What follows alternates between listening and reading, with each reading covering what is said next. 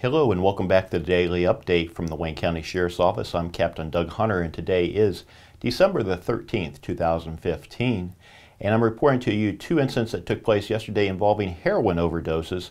One of these incidents took place uh, in East Union Township where Deputy Shelley arrived on scene and found a man lying unconscious and apparently not breathing on the front steps of a home.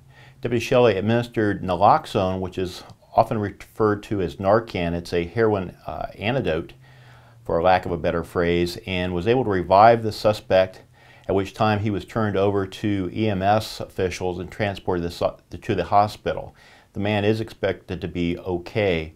The second individual was not quite as serious, and no uh, Narcan was administered in that case, but that case is an ongoing investigation.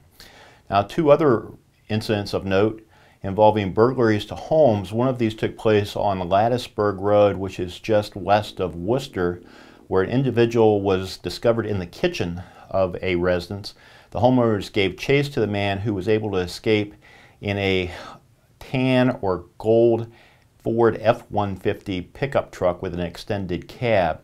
The man left with a set of kitchen knives and a car stereo. So anyone with information should contact our office on that case. Likewise, a second burglary on Old Columbus Road just south of Wooster in the Triway High School area. A man, uh, or we are assuming a man, attempted to make entry into a home, however, was unsuccessful and uh, nothing was taken there. Four individuals were arrested on arrest warrants throughout the county, and another number of other uh, minor type calls were handled throughout the day and evening.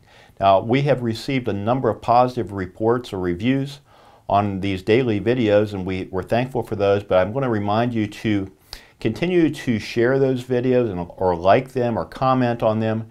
It's an odd way of how Facebook handles uh, things on social media. They uh, have an algorithm that allows them to determine uh, what material you see and what you do not see. So simply subscribing to our Facebook page does not ensure that you're going to receive everything that we post. So Keep interacting with the comments, likes, shares, etc. to ensure that you continue to see these videos and the other helpful information that we share each and every day. So until next time, stay safe.